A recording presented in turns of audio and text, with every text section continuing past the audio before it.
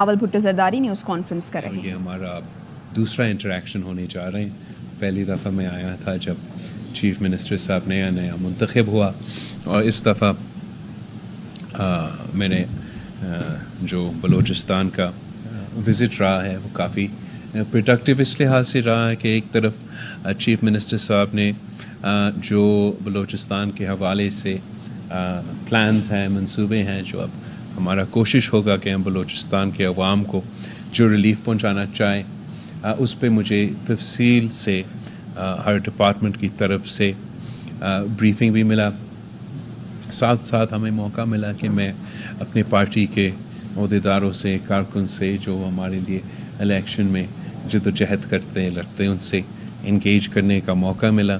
और इन, मेरा कोशिश ये होगा कि हम मुसलसल ये जो मेरा कोशिश होगा कि जब भी नेशनल असम्बली से कोई ब्रेक मिलता है तो आपके पास यहाँ आके चीफ मिनिस्टर साहब के साथ हम इंगेज करें। तो हमारा, हम जानते हैं कि बलूचिस्तान में बहुत ज़्यादा बहुत ज़्यादा पोटेंशल है। साथ साथ आपके अपने मसाइल हैं, आपके अपने मदूद वसाइल हैं। मगर उस महदूद वसाइल में से हम ज़्यादा मेहनत कोशिश करेंगे कि हम यहाँ के अवाम को रिलीफ पहुँचाएँ। कुछ ऐसे मंसूबे हैं जिसके मैं ज़रूर तारीफ़ करना चाहूँगा। मैं समझता हूँ अगर हम इनमें इन पे अमल दरामद करने पे कामयाब हुए तो बहुत फ़ायदा होगा हमारे बलोचिस्तान के अवाम का। एक तो चीफ मिनिस्टर साहब का जो स्कॉलरशिप का इनिशिएटिव है और जिस तरीके से ख़वातीन को प्रेफरेंस दिया गया है कि हम बलूचिस्तान के जो हमारे वुमेंस एम्पावरमेंट के लिहाज से आ, उनको सपोर्ट करना चाहते हैं। और आज जो इंटरेक्शन मेरा हुआ जो यहाँ के बच्चों ने टॉप किया, आपके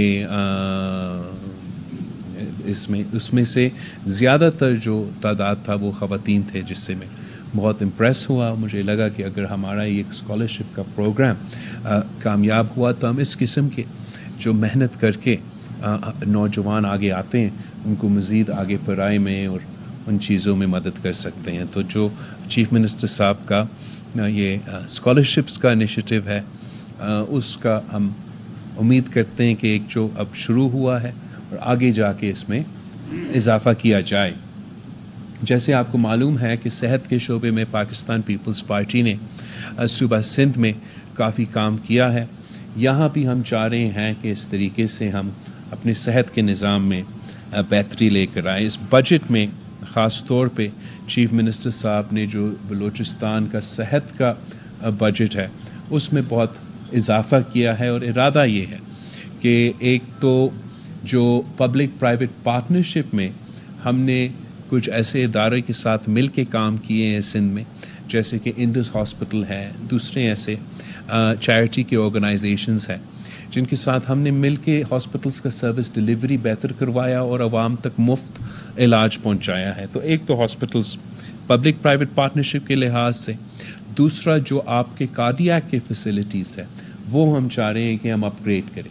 और जो हमारा पहला फ़ेज़ में इम्कान है कि हम नेटवर्क अभी बना हुआ है उसके साथ क्वेटा में जो पहले एक वोट की सूरत में बनेगा और आगे इसको हम आ, इसको हम बेहतर करते जाएँगे ताकि जैसे कराची में एक एन के लिए एक मरकज़ बना हुआ है और उससे हम अपने सैटेलाइट्स फिर पूरे सूबे में चलाते हैं। तो वैसे हमारा ख्वाहिश है कि यहाँ क्वेटा में आपका ऐसा एक इदारा बने, जिसको फिर हम आगे आपके पूरा सूबा में फैला सकें और जो मुफ़्त इलाज है, दिल का इलाज, जो महँगा तरीन एक इलाज होता है, वो हम आवाम तक, उनके दरवाज़ों तक पहुँच जाए तो उसका जो पहला फ़ेज़ है, वो ये कि बलूचिस्तान का कैपिटल में क्वेटा में हम ये सहूलत शुरू करें। सिंध के N I C V D का निज़ाम से मिल के काम करें जब तक हम अपना कैपेसिटी बिल्ड करें अपना मरकज़ी सेंटर आ, बनाने के लिए।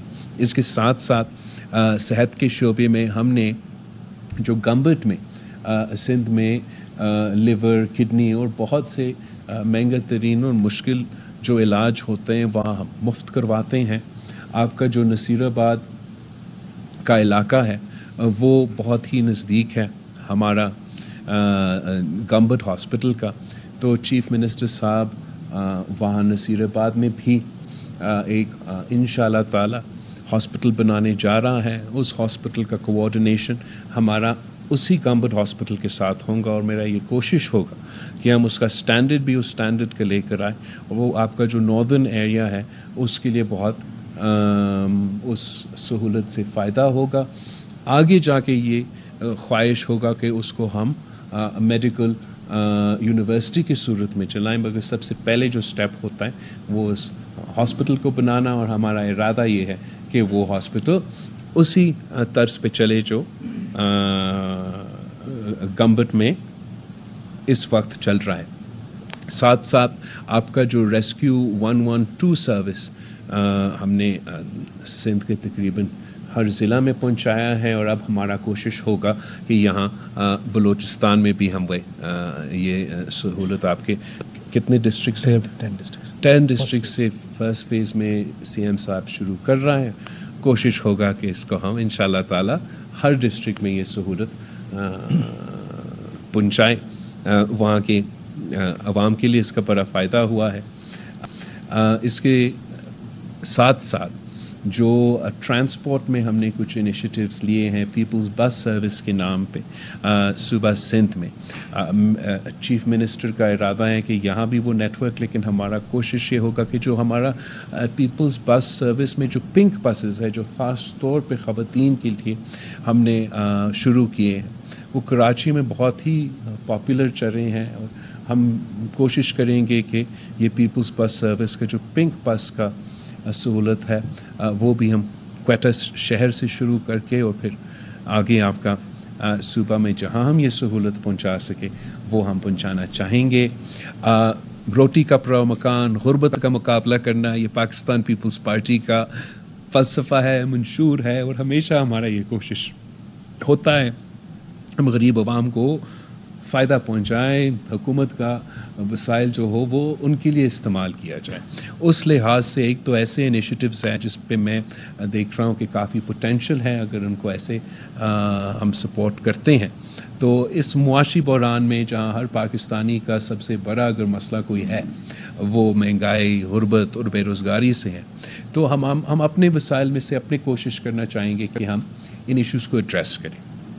इनमें से एक जो बहुत अच्छा इनिशिएटिव है हमारा लेबर मिनिस्टर का, हमारा चीफ मिनिस्टर का, वो जो स्किल्स डेवलपमेंट पे फोकस किया जा रहा है और कोशिश ये किया जा रहा है कि बलूचिस्तान के नौजवानों को ना सिर्फ़ वो स्किल्स दिया जाए, उनको वो सर्टिफिकेशन दिया जाए, मगर साथ साथ उनका रोज़गार चाहे मुल्क में या मुल्क के बाहर उसका बंदोबस्त किया जाए। अभी ये इनिशियल फेजेस में है, उम्मीद है कि ये आपका target thirty thousand two years दो साल में थर्टी थाउज़ेंड हम चाह रहे हैं कि नौजवानों को हम ना सिर्फ़ ये सहूलत, ये स्किल उनका, उनको ये सिखाए, मगर उनके लिए फिर आगे जाके उस स्किल की बुनियाद पे जो उन्होंने हासिल किया है, उस बुनियाद पे उनको नौकरी मिलना चाहिए। साथ साथ गुर्बत का मुकाबला करने के लिए वैसे तो बलूचिस्तान में बहुत से इंडाउमेंट फंड्स हैं बहुत से ऐसे इनिशिएटिव्स हैं जिससे पसमानदा तबकात को हम फ़ायदा पहुँचा सकते हैं, इसमें